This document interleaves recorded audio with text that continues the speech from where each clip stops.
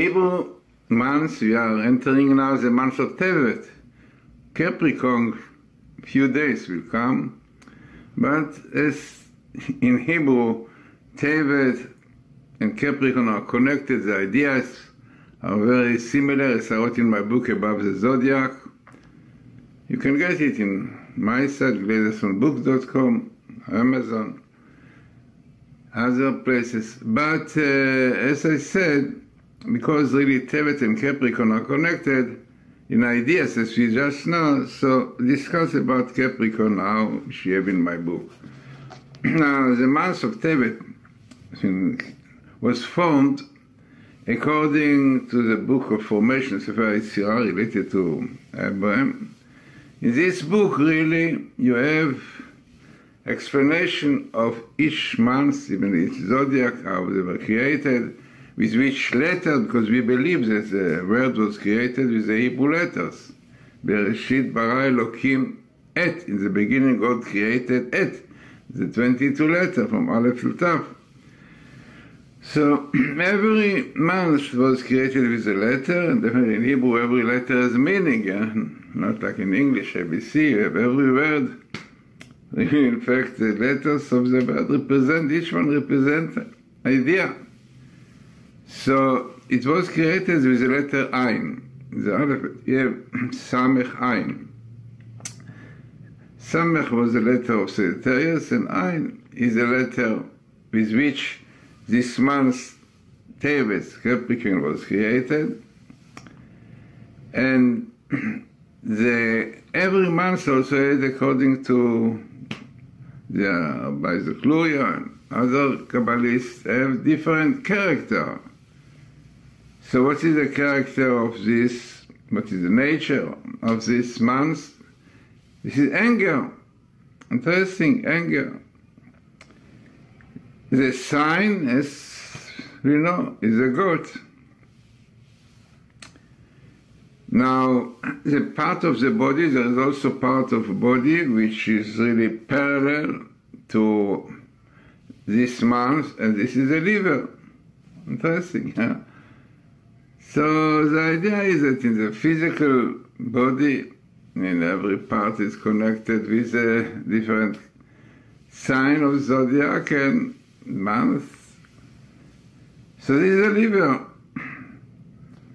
Now, what is interesting is that according to Kabbalah, the month of Tevet is not such a good month for uh, Jews, as we know. Tomorrow we are going to fast for the beginning of the besieging on Jerusalem. This was really basically the beginning of the destruction.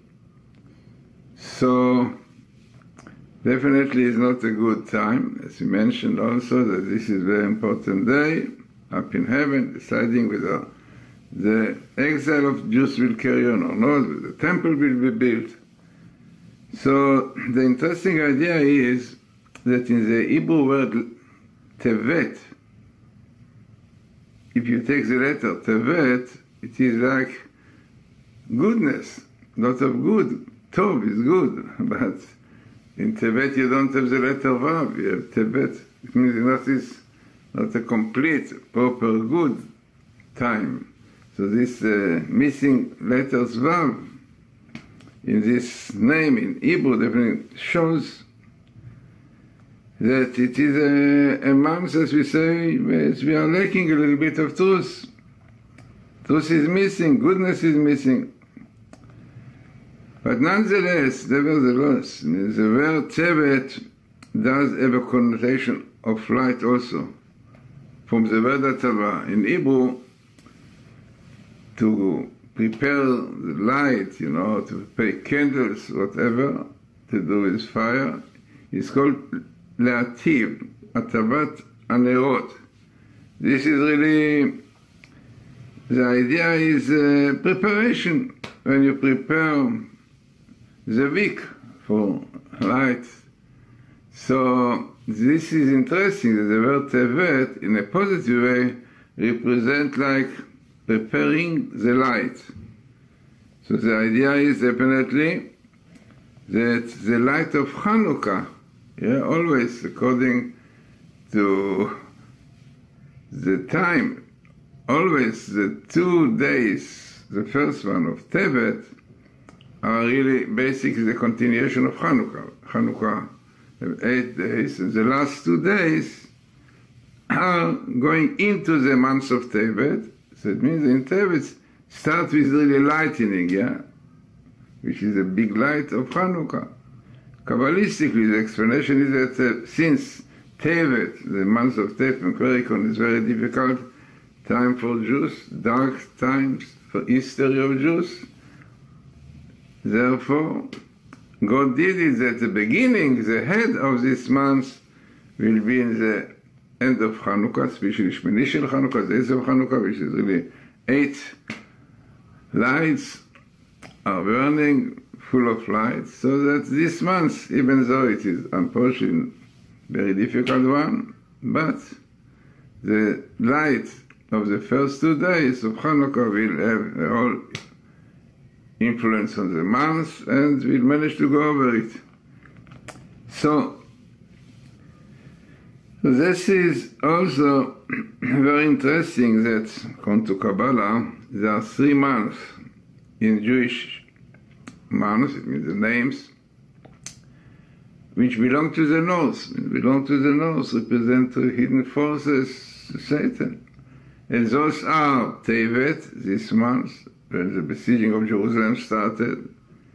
Then you have definitely very, very severe one, which is the month when the walls of Jerusalem were broken. This is the month of Tammuz, which is the month, as unfortunately, also a lot of troubles. The 17th of Tammuz, broken, tables were broken, golden calf, and this is the time before the destruction, was in the month of Leo.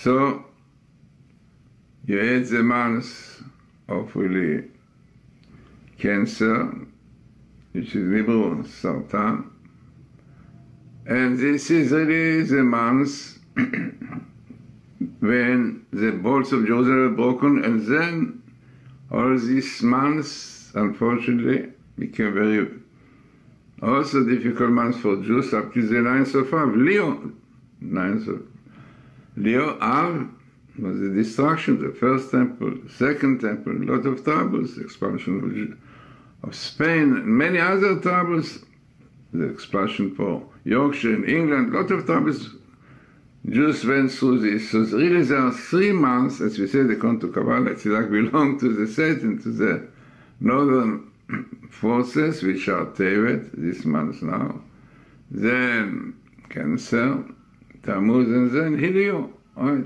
Difficult. Very difficult month for Jewish history. Now, therefore, really, we have fast these days. We have the fast today, I mean, tomorrow, the pants, the fast of the 10th of Tevet, and then in Cancer we have the 17th of Tammuz, and then we have the big fast day of the 9th of Av. So altogether, very difficult three months. In fact, the Kabbalah, the Zohar says that it indicated the three months, the story of Moses that was hidden three months from the Egyptian, we know, and the expression is about Tispeneu. Tispeneu means really simple, she hid him, but Tispeneu, eh, so in Hebrew also from Tzafon. So there are three months which belong to the north, yeah, which really represent difficult time for Jewish people. As I said, we see it all over history that in these months, lots of troubles happen to Jews. The, also very important to know that every month has an element, yeah, an element like in astrology also. So the element of this month, Tevet, is earth, Adama, earth. And this is really, which indicates in uh, also in astrology, this kind of element is symbolizing sluggish power of materiality. The definite power dominates the man's influence. Now, what is the idea? On the other hand, it is within the earth that the power of sustenance, of life, is contained.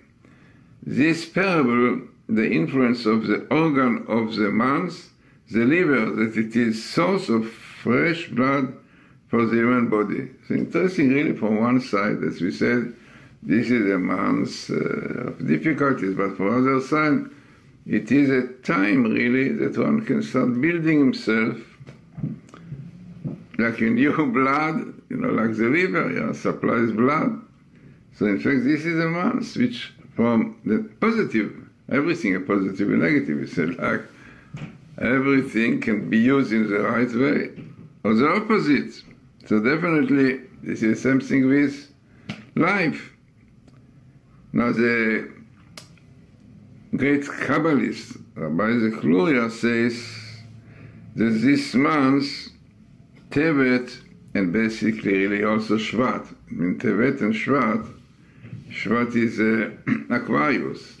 In both of them are, by the way, are influenced by the star Saturn. Interesting. It is very, wrote in my book exactly beautiful explanation how it goes together.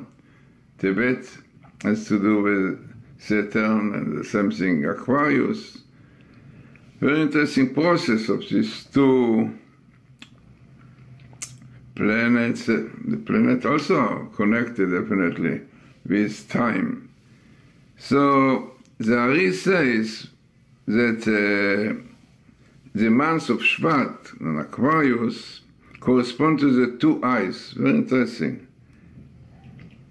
In the eye, the eyes are of the most sensitive organs in terms of their ability to draw a person away from spirituality. The eye sees, and so the heart desires.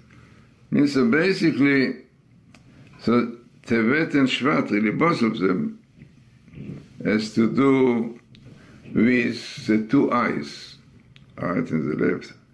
Definitely, there are different things. As we said before, the liver is a part of the body, but the eye represents more the sight. Again, sight can be used for good if you are looking, seeing the right thing, or sight can destroy people. You have to see the wrong things. So means that in these two months, eyes are negative, also negative, but from that's also positive, and you are using it in the right way, definitely. So, what is the connection? Very interesting, because the Hebrew letter Ain, the letter of this month, has a meaning. Ain. Ain is I, similar to English. Ain and eye. And this is exactly, said, part of this month, really, the idea of the eye. Sight. And also, if you know the shape of the Hebrew letter Ain, clearly is built up of two letters, really, and then the above, which joins them together. So it means you have like the two eyes connected to the left, which is the heart, clearly. So the shape of the letter Ain in Hebrew represent the two eyes, which have definitely great impact on the heart, on the left side. So the idea is very interesting that be also very important in Judaism. You have in, in Judaism you have the two things. You have in Judaism as really maybe in astrology really also you have six months of the winter, six months of the summer. And normally they are parallel. It means that there is connection like men and women, masculine and feminine. Interesting. Like you take if you example if you take the first month of the cycle, which is uh, Nisan, right, the Passover, 15th of Nisan is Passover. So this is the summer, in the winter, you have on the same days, like Tishrei, you have Libra, yes? you have Sukkot, also the 15th, and the connection between Nisan and Sukkot. Both of them really represent Jews coming out of Egypt, yeah, different stages. So it means it's always something. So it is very interesting that the couple the two months of the winter, which is Tevet and Shvat, Capricorn and Aquarius, are really couples with the two months, like Tevet, which is the fourth month in winter, again the fourth month in the summer, which is Tammuz.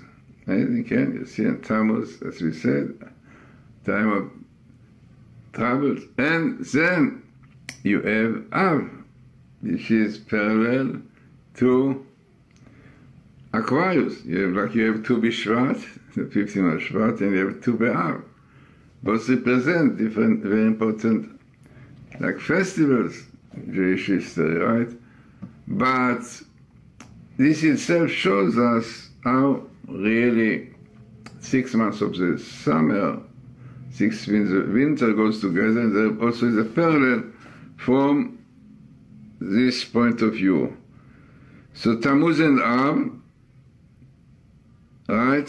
So there are parables, the two winter months, as we said, Tebet and Shvat. Now, the natural attribute of Tammuz is vision, as we said. If, uh, so my book also vision. Tammuz has to do with sight, with vision also, which is dependent on the eye. This is where evil finds its first base of influence. You know, the sign of Tammuz is uh, really, not cancer, really better to say crab, yeah, of cancer. Contains the word Satan, by the way. Satan have the, basically the word cancer also. So, altogether, with the letter Resh signifying motion, yeah. So Sartan is really Satan in, in motion, fighting, yeah. And this is really, as I said, this is a month that the Jews really suffered a lot. It was the breaking of the walls of Jerusalem in the past. It was the time the Jews uh, did the golden calf, and uh, it brought a lot of troubles to Jews all over history. So, yeah, so this alternative is very interesting, like in Hebrew. Every word represents its meaning, its character. Now, what is the heavenly body which influences Capricorn is Shabtai, it's Saturn. And it, the etymology, symbolism of this is, is really limitation. Interesting that uh, Saturn represents kind of limitation, like depression, yeah.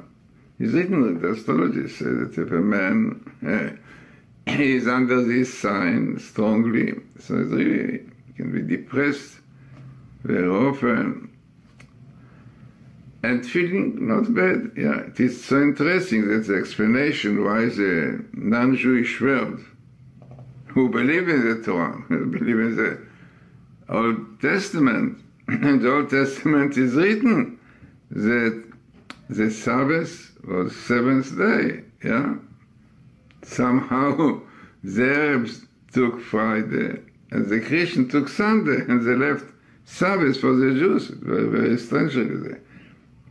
Many commentators are very surprised what it is, but one of the commentators said, Rabbi Natan Ebesh, he said, he says, very interesting, according to astrology. He said, according to astrology, a Saturday, this why Saturday is called Saturday, because it connected with, is a, uh, affected by Saturn, by Saturn, 6 o'clock in the morning. This is the sun. The Saturn we had influence on it. Every day is influence differently depending on the planet which is ruling six o'clock in the morning. So on Shabbos, 6 o'clock is Saturn. In my book I explained exactly how it works, it works by looking at it. But therefore Shabbos is, Shabbos is a day we called really Shabbos, which means Shabtai, Saturn. And therefore on Shabbos normally in the mundane, in the profane, people will feel not so well, depressed a little bit, you know. So therefore the Christian and the Arabs said, no, no, it's not good for it, they don't feel. So the Arabs preferred Venus, yeah, Friday, a lot lust, depends on this, and the Christian preferred Sunday, sun, yeah, with the sun. And the Jews got Shabbos, and the idea is to show the Jews are above the zodiac, because on Shabbos Jews are singing, they are happy, enjoying it, they are not at all affected by Saturn. Because this is the power of prayer, of the Torah, of mitzvot, of commandments, to elevate people above the zodiac. This is why I call my book Above the Zodiac. So this is really very interesting, you know. This is really the explanation, which is very strange, that the Christian Arabs, Islam believes in the Old Testament, only they have the additions, but basically they believe that God created the days in seven days, on the seventh days he rested, and so on. But because of this feeling, emotion, that they don't Shabbos, they said, no, not for us. So everybody took what suits him. So it's very, very interesting that uh, this is a connection of this uh, idea. But as I said, everything also positive. So also Shabtai should have also positive interpretation. So in its positive aspect, Saturn symbolizes the power of deep understanding and contemplation associated with Sabbath, the refraining from mundane activity in order to experience the transcendental. It means that really somebody was under Shabtai, his mind, his understanding is very interesting, is strong, and it's what we do on Sabbath. You know, Sabbath you have to study Torah to learn, and really the power of Saturn, understanding helps a lot to Jews who keep the Shabbat. So, as I said, very, very important day, Shabbos, and the something important must have it, but definitely, if using the right way, studying Torah and so on, really is very, very strong on this month, understanding. Now, so what is the negative expression of this sign? So there is evidence. So it is it's evidence by being a festive occasion for Christianity, when in the course of their history much innocent Jews' blood was shed. Yeah, Joseph Stalin, an extreme anti-Semite, was born under the sign of Capricorn.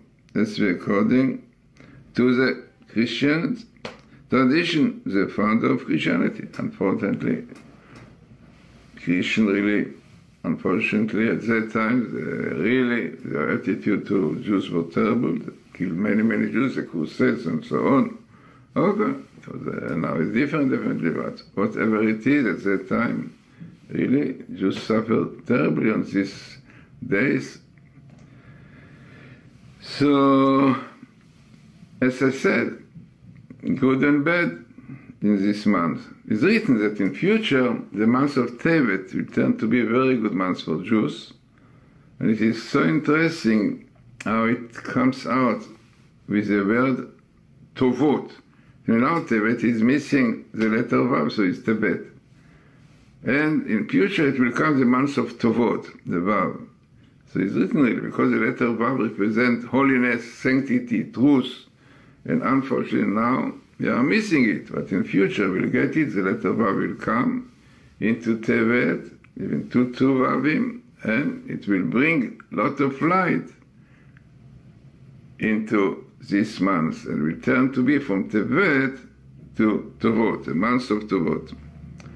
Now, it is also interesting and important to know that according to Jewish astrology, every month is a tribe.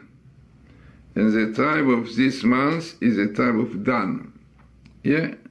Dan, this month really symbolizing the power of severe judgment, din. In Hebrew, Dan comes from din. it signifies the power of Isu, that judges the Jewish people harshly in the event of their having forsaken the Torah and its ways. In the desert accompaniment of the Jewish people, the tribe of Dan was in the north. Interesting. From whence issue darkness and judgment, the place in the world where the sun is in hiding, so to speak. So it means it is interesting that really the Dan come from Din judgment and its place in the desert when Jerusalem came to, he was in the northern side. So he's connected with judgment and hidden. So it is so interesting that even the tribe connected with the sign as meaning and connection. Now, it is interesting to see how astrology relates to these people who are born under Capricorn. So, astrology relates that people born under the sign of Capricorn, they are strongly drawn to the desire to amass material wealth. I think that's what they. Huh? This tendency is expressed in the letter Ein, this in Hebrew, the letter of this month, as well as in the right eye, the facial organ of the month according to the Ari. So the idea is that in the negative pure theological aspect of the eye is that it lends itself to important ambition, and this acts as a complement to the brazeness of the mountain god, Capricorn. So yeah, the, this god, you know, in the mountain. It is very typical to his behavior. Interesting is that in Hebrew, the word for mountain, god, it means this is a special. Gdi, uh, this is a special kind of god. It's called Gdiizim. Gdiizim is related to the word for the strength and fierceness, my, like the edge, really, edge, in Hebrew, edge is also somebody, brazeness, yeah. So, very interesting, really, to show in really the, to see it in the sign which shows this uh, kind of uh, God, yeah, which is really as a, this kind of kind of nature of people who are born under this sign. So, as we say, this is very interesting. Also, it is worthwhile pointing out that the Hebrew word is, is the goat, which is Capricorn, that we say, D and A is the same thing, the goat. And there is a place that we have Jews have a lot of problems from is Gaza, Gaza, yeah. Also, Gaza, the people, they are azim, very brazen, yeah. cheeky. So, also to do with this goat, and in fact it is so interesting that according to Kabbalah, the goat is really the symbol of this month. And the story is, according to Kabbalah, Rabbi Zakluria says that we know the story of Samson. Samson wanted to conquer Gaza, to conquer the Philistines. And when he got his uh, wife, he sent her a nice present and what was this? It was a goat. who sent the goat for uh, his uh, bride. So the explanation, what to tell her, you see, this goat, your son, you're the Philistines, will be in my hand. Interesting, very interesting. So this is really the God. By the way, it is so interesting to point out about the connection between Gaza and this month. When the first Intifada broke out in the month of Capricorn. Also, the Palestinians are connected with Capricorn. And the place from where it started was Gaza. So it means the month was the month of Ha'ez, the month of the gods. And the place from where the Intifada, the first one started, was Gaza, Gaza, the same letter. So you can see amazing connection between the letters of the sign of this month of Capricorn and the place. So I mean it is very, very interesting, as I brought in my books, that you can see such nice connection between, you know, Jewish astrology, especially through the Hebrew letters, and the, you know, the normal, what you call normal astrology. if I tell you the story that really one of the greatest astrologists in the world, Sydney Omarr, used to write, to have a column in New York, in the, the paper, and uh, New York Times, and also was this one who told Kennedy, don't go to Dallas, I'm going to kill you. It is a famous story, this is Sydney Omarr. So it is definitely not a Jewish name, but it was an interesting story. I told it a few times that when I was in Los Angeles, I gave a talk about Jewish astrology and I showed them my book about the zodiac and they bought it. So one of the ladies bought my book and she happened to live in the same building in Santa Monica with Sydney Omarr. And after she got my book, she came, you know, she knocked on his door. She said, You know, Sidney just also believe in astrology. I said, No. What you tell me now? I said, No, yes, look, look, have a lesson book. So he looked in the book, I think, a few minutes, she told me, and the immediately said to her, No, I tell you the truth. This book now changed all my life. Said, What happened? She said, I tell you the, Jew, the truth. I'm Jewish. My name is Eli Kimmelman. I was born in Poland.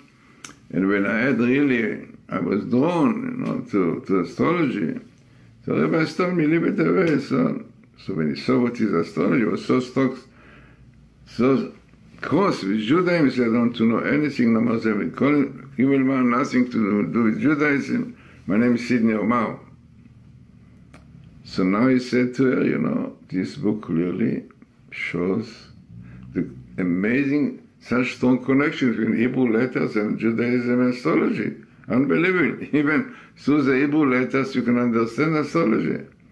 So he said to her, I must get this book. So they called the Jewish bookshops there in Los Angeles and said, no, the book is sold out, but the rabbi was here a few hours ago. So then he looked in the book and he saw number of my cousin in Santa Barbara, Leonard Immelson. So he said to her, let us call uh, his cousin, I'm sure he will have the book. So, okay, called, and who picked up the phone? I was sitting exactly next to the phone, and I said, said Sydney Omarr for Bagles. I said, who is? Oh, Arab, who wants me? He said, what's Sydney Omarr? He's on the television, radio then. So he told me, look, Rabbi, I wanted, I was so happy to see the book above the zodiac, to see that such beautiful connection between the stars, the zodiacs, the Hebrew letters, in new Hebrew letters, because he was studying in a Jewish school, yeah. And he knew the he was amazed. So he said to me, please come to me, I make for you kosher, glad kosher. I invite people from Hollywood, my friends, and I want to show them really a beautiful connection between Hebrew letters, uh, Hebrew, and the idea of the stars. So this was what I came to his place, invited people there, and for a few hours we spoke together. And definitely showing clear connection between the Hebrew letter and letters, the stars, and Baruch Hashem, he, she passed away a few years ago, but everyone could see about him that his original name is Zilling. Zilling. Kimmelman, he was learning, he was really born in Poland, he was studying the Jewish school, and uh, yeah, he was happy to be a Jew. So, interesting. So in fact, uh, we can carry on a lot about the month of Tevet. I wrote many pages about this. And, but uh, as I said, uh, okay, you can see much more about it in my book about the zodiac. You can get it at glazersonbooks.com, Amazon. But as I said, there is a lot more about it. You can see the book. But meantime, what I want to give you some ideas, the connection between Jewish astrology and general astrology. There is a connection, especially all of them come through the Hebrew letters, because the Hebrew letters were the foundation of the world. And therefore, perhaps I give you an example, for example, a nice example really, about a Hebrew letter with which a planet was created and how the meaning of it exactly fits what it is.